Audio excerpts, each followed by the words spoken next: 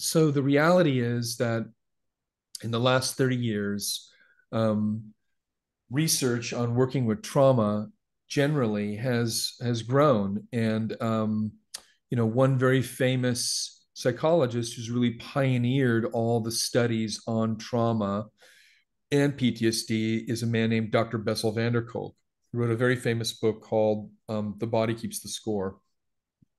And so, one of the things that he shows uh, very well um, is why somatic therapy is superior to talk therapy for any kind of religious trauma. So, I would say talk therapy is something that people with religious backgrounds kind of grow up, you know, doing. They all practice a form of cognitive behavioral therapy. They all learn how to talk to themselves and um, say the right things to ourselves and tell ourselves things that we feel are positive. Because a central issue in religious trauma is is witnessing or authenticity.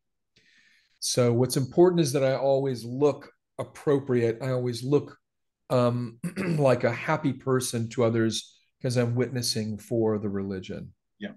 So it's not important that i am authentically happy. What's important is that i look happy. Present okay yes i present well.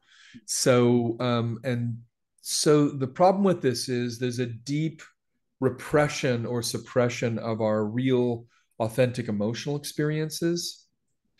And so we often don't know what we really feel or we often feel frightened to trust in what we feel. Now working through the mind through the brain through talk therapy just takes us right back to that place of positive thinking presenting well um, and what's really required for religious trauma is a deeper kind of a work, right? So, because talk therapy just seems to be like this endless exploration of personal history that often leads to amplifying the pain and reliving traumatic experiences over and over through telling the stories over and over.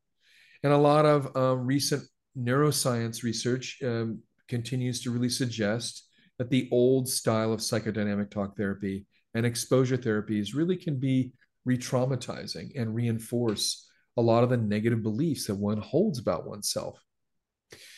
So, um, what we have found to be very effective is somatic therapy. Somatic therapy is a type of therapy that works more through the body and directly with the emotions. And this is a way that we work in order to help the client to observe themselves in a new way a more objective way that's curious and compassionate, and also to begin to work to find acceptance for their body, for their emotions. And the real key to recovering from religious trauma is first beginning to find a sense of safety and a sense of acceptance for one's own emotional experiences inside.